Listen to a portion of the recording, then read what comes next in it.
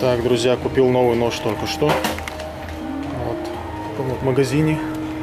Здесь очень много разных коллекций. Видите, за 54 евро есть, за 64 евро со всякими прибамбасами, наворотами, чего здесь только нет.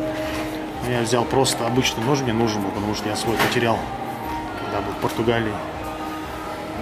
Вот. Такие. Gracias. Так, все. И вот такой нож. Сейчас я вам его покажу. Ну-ка, держи камеру. Сколько он стоит получилось? 35. 35 евро. Да, ну это нормально вообще. Это со скидки или без скидки? Без скидки. Без скидки.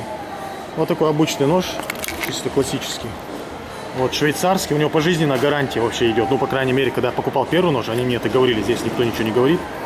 Вот есть вот эта штука. Ну, это, правда, я не знаю, для чего. Мозги вправлять. Мозги вкручивают. Да.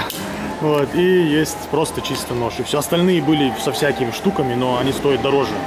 Это стоит, видите, 34 евро. Скидки на него не было, да? Нет. Не было. Ага, ну все. Такие дела. Что, пока все.